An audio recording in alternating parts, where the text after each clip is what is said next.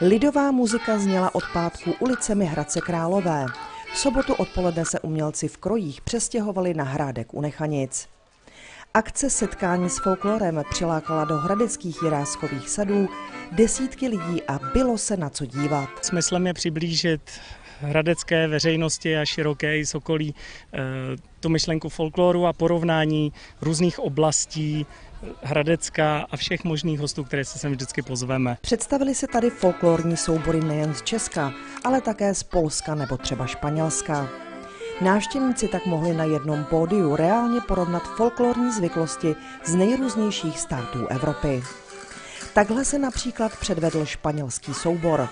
A při vystoupení samozřejmě nechyběly kastaněty.